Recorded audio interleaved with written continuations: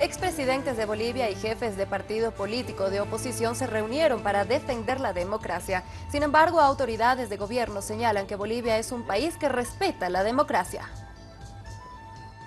Líderes de oposición, además de exmandatarios como Carlos Mesa, Jorge Quiroga, se reunieron la jornada de este miércoles en un hotel céntrico de la ciudad de La Paz, según los políticos, para defender la democracia. El movimiento socialismo se ha dedicado en los últimos años, en lugar de gobernar y hacer gestión, en hacer una persecución política. Por lo tanto, lo vamos a seguir denunciando porque eso no es democracia. La democracia es pluralismo y no es como quieren algunos voceros del oficialismo decir que aquí hay un partido único. Eso, señores, es dictadura y lo han dicho varios voceros del oficialismo. Por su parte, el ministro de Desarrollo Rural y Tierra, César Coquerico, señaló que los políticos de la oposición se reunieron por órdenes de Estados Unidos, manifestando que Bolivia es el país más democrático en el mundo. ¿Qué le parece a usted?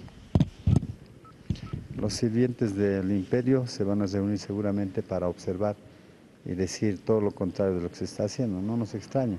Seguramente ha llegado instrucciones de patrones estadounidenses para que hagan eso.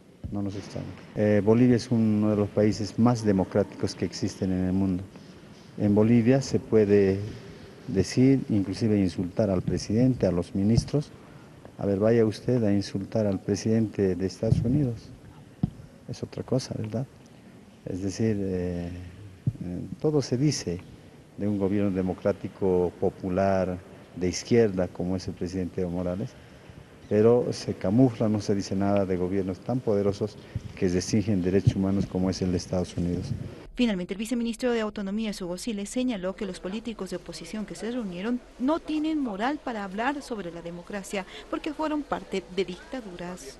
En la última década no solamente hemos extendido las cualidades de la democracia, sino hemos aperturado formas eh, de iniciativa ciudadana para poder participar y decidir. Producto de eso que tenemos referendo, consultas, tenemos una extensión democrática en servicios básicos, en identidad.